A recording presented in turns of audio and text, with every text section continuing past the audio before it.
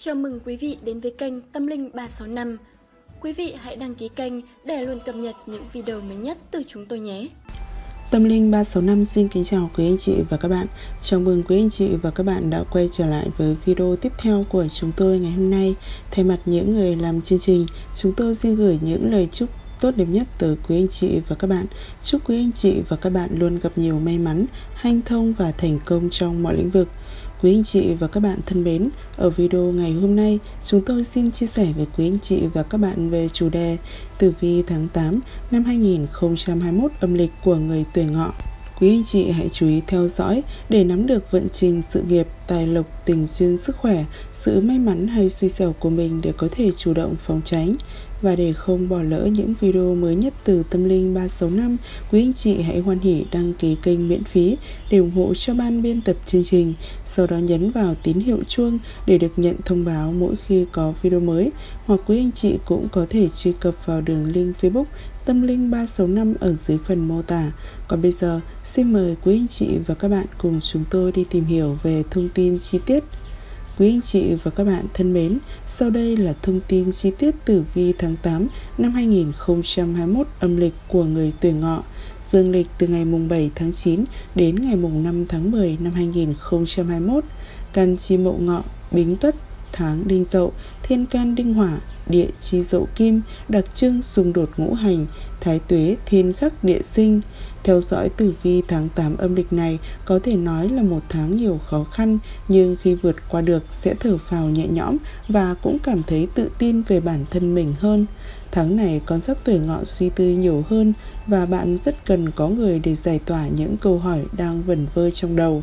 Họ sẽ chỉ cho bạn thấy rằng bạn đang nghĩ quá nhiều, chứ bạn là người có năng lực, hãy tự tin vào chính mình.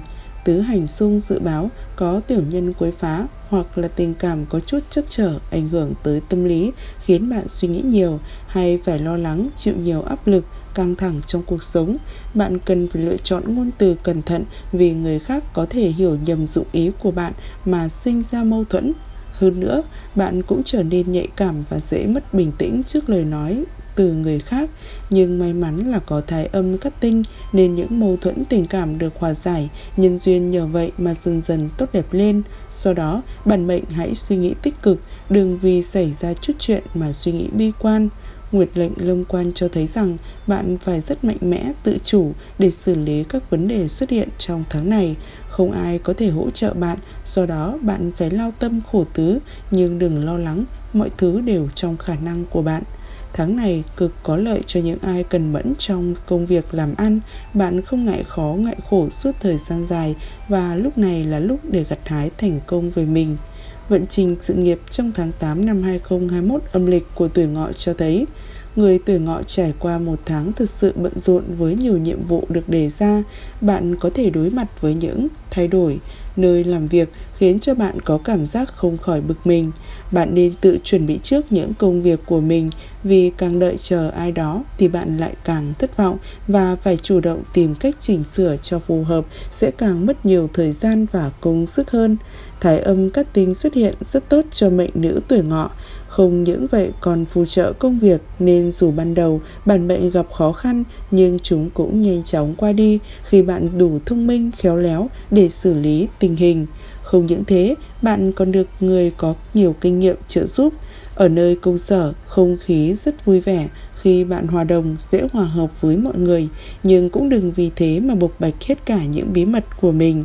Chuyện gì cũng nói ra như thế thì thường gây bất lợi cho bạn. Tỷ Kiên nhắc nhở bản mệnh nhất định không được cả tin, nhất là đối với những ai thân thiết, họ đều có thể vô tình hay cố ý gây hại cho bạn bất cứ lúc nào. Với người học hành thi cử thì đây là thời gian thư giãn, nhưng cũng đừng vì thế mà bỏ qua việc ôn tập hoặc là đang có nhiều thời gian rảnh rỗi thì bạn thử học thêm một kỹ năng nào đó, đừng lãng phí những nguồn lực mà mình đang có. Về vận trình tài lộc trong tháng 8 âm lịch của tuổi ngọ cho thấy tình hình tài lộc của tuổi ngọ nhìn chung ổn định trong suốt tháng này nếu bản mệnh không quá tham lam. Thời gian này phù hợp cho việc nghiên cứu, tích lũy thông tin đáng giá về tình hình tài chính kinh doanh trong và ngoài nước khi bạn vừa có tầm nhìn vừa bao quát vừa chi tiết thì những quyết định của bạn sau này càng khôn ngoan hơn. Tháng 8 âm lịch, các tác nhân gây ra những ảnh hưởng xấu đến thu nhập, lợi nhuận không có, nhưng cũng không có nghĩa là làm gì cũng đúng, cũng may mắn. Do đó, nếu tiến hành các việc như đầu tư, kinh doanh thì cứ chuẩn bị từng bước nhỏ sẽ tốt hơn. Nhất là với ai đang có kế hoạch hợp tác kinh doanh với bạn bè thì cũng phải tập trung tìm hiểu kỹ càng, đừng vội vàng tin tưởng người ta. Trong thời gian này không phù hợp cho các quyết định liều lĩnh vì đầu óc rối bời nên bạn hay có những đánh giá sai hướng. Tốt hơn hết là nên ưu tiên các biện pháp an toàn. Về vận trình tình duyên trong tháng 8 âm lịch của tuổi ngọ cho thấy Tháng mới vận trình tình duyên của tuổi ngọ có nhiều chuyển biến tích cực khi bạn đã có thái độ tốt, có ý thức hơn trong việc vun vén cho hạnh phúc gia đình. Lúc này cực kỳ có lợi cho những ai biết hối lỗi về những việc bản thân đã làm, chỉ cần xin lỗi là bạn được tha thứ, lại có được những ngày vui bên vợ chồng con cái của mình. Những cặp đôi lúc này nên dành thời gian cho bạn đời, lắng nghe nhau và chia sẻ những vấn đề trong hôn nhân, hạn chế đưa ra bất kỳ quyết định quan trọng nào liên quan đến hôn nhân trong giai đoạn này. Thái âm cắt tình trợ nhân duyên cho những ai còn độc thân, nhất là nữ mệnh, dễ có tin vui khi gặp được người tâm đầu ý hợp. Người có gia đình thì dễ nhận được tin bầu bí. Nhìn chung tháng mới là tháng hạnh phúc, vui vẻ đối với con giáp tuổi ngọ.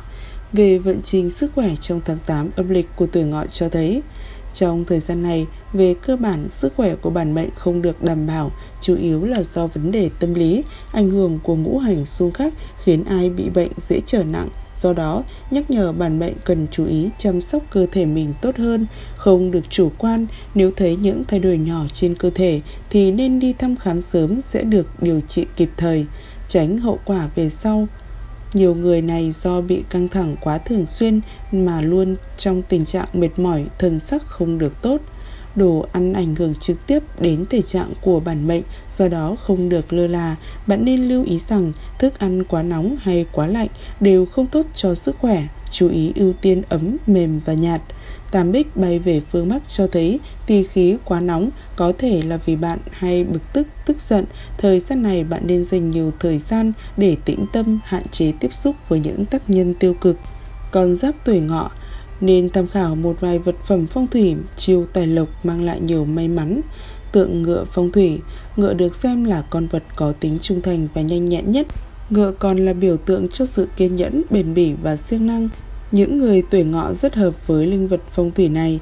Nhiều người làm ăn kinh doanh tuổi ngựa đã lựa chọn tượng ngựa phong thủy để bày trí tại nơi làm việc với mong muốn sẽ được thuận lợi.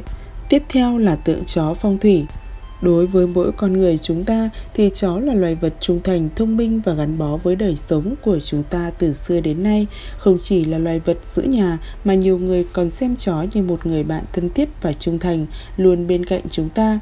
Một số địa phương còn tạc tượng chó và thờ cúng trong các miếu, hoặc là hình ảnh dễ thấy nhất là những con chó đá được đặt trong nhà hoặc trước nhà với ý muốn cầu bình an trừ tà ma. Theo quan niệm người xưa có câu chó đến nhà thì sang cũng phần nào nói lên sự may mắn của tượng chó. Tiếp theo là tượng hổ, tượng hổ với những ý nghĩa như chấn trạch, giúp xua đuổi tà ma đến nhà của người tuổi ngọ. Hổ được mệnh danh là chúa Sơn Lâm, do đó hình ảnh con hổ cũng tượng trưng quyền lực, sức mạnh của người lãnh đạo, chủ gia đình. Do đó tượng hổ cũng sẽ giúp cho người tuổi ngọ tăng thêm sức mạnh, quyền uy. Nếu đặt tượng hổ thì chú ý đặt hướng ra ngoài sẽ giúp việc làm ăn kinh doanh được thuận lợi, mọi người nể phục trên thương trường. Theo tranh hổ xuống núi thì tránh hướng vào nhà có thể dẫn đến nguy hiểm, rắc rối cho gia đình và doanh nghiệp. Không nên đặt tượng tranh hổ trong phòng ngủ và đối diện phòng khách, vị trí tốt nhất là treo chéo với cửa chính hoặc là hướng ra ngoài.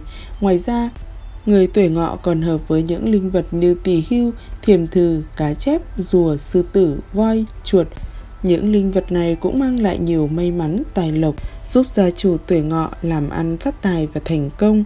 Cẩm nang vượng vận cho từng tuổi ngọ Hướng vượng là Tây và Tây Bắc, ngày cát mùng 7 tháng 9, mùng 8 tháng 9, 20 tháng 9 và 30 tháng 9, ngày hung là mùng 9 tháng 9, 14 tháng 9, 26 tháng 9, mùng 3 tháng 10, hướng xấu là hướng Đông và Bắc theo dõi tử vi tuổi sắp ngọ mệnh kim, nam thái dương, nữ thổ tú, khẩu quyết đừng mất bò mới lo làm chuồng, hãy chuẩn bị những kế hoạch dự trù trước khi chúng xảy ra. Theo dõi tử vi trong tháng này, từ tiền bạc đến công việc đều chắc trở bế tắc, nam mạng tránh manh động đầu tư việc mới nên theo việc cũ để nhờ vận hội mới.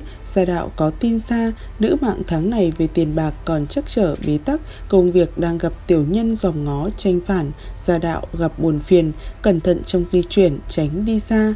Quý nhân phù trợ là tuổi tỵ và tuổi thìn, tiểu nhân là tuổi mão và tuổi mùi, màu sắc may mắn là đỏ và nâu. Tiếp theo là người tuổi bính ngọ mệnh thủy, nam thủ tú, nữ vân hán, khẩu quyết đảo hoa rực rỡ, được nhiều người quan tâm và yêu mến.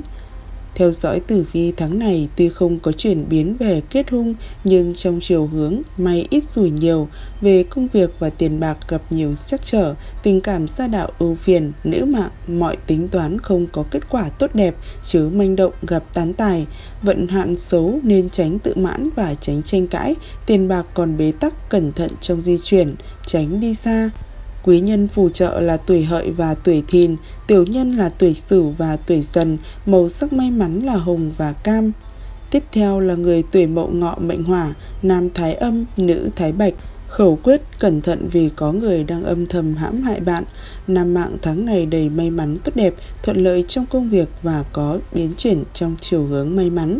Về tiền bạc đến tay có của hoạnh tài, tình cảm gia đạo an vui. Nữ mạng tháng tốt nhưng vận xấu tránh manh động. Tháng này tuy không có biến chuyển về mưu sự nhưng công việc và tiền bạc cũng gặp nhiều may mắn có hoạnh tài đưa đến.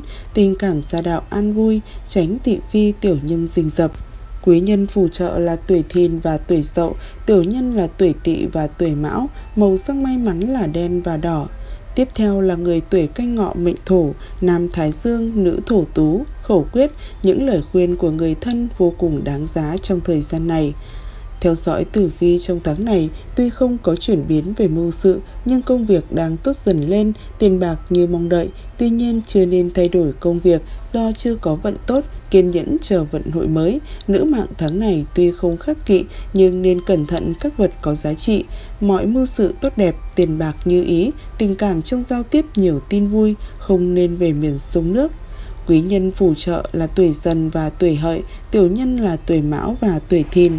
Màu sắc may mắn là tím và hồng. Tiếp theo là người tuổi nhâm ngọ mệnh mộc, nam thủ tú, nữ vân hán. Khẩu quyết tình duyên vượng sắc, vợ chồng hòa hợp về mọi mặt.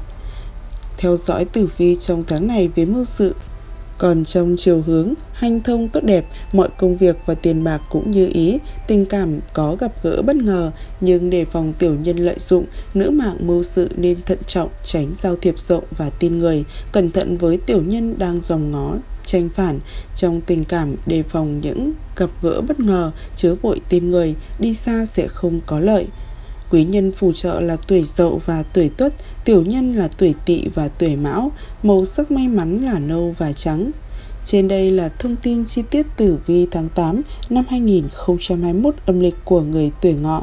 Chúc quý anh chị và các bạn luôn gặp nhiều may mắn, hanh thông và thành công trong mọi lĩnh vực. Và để không bỏ lỡ những video mới nhất từ Tâm Linh 365, quý anh chị hãy hoan hỉ đăng ký kênh miễn phí để ủng hộ cho ban biên tập chương trình. Sau đó nhấn vào tín hiệu chuông để được nhận thông báo mỗi khi có video mới. Hoặc quý anh chị cũng có thể truy cập vào đường link Facebook Tâm Linh 365 ở dưới phần mô tả. Còn bây giờ, xin chào và hẹn gặp lại quý anh chị ở những video tiếp theo.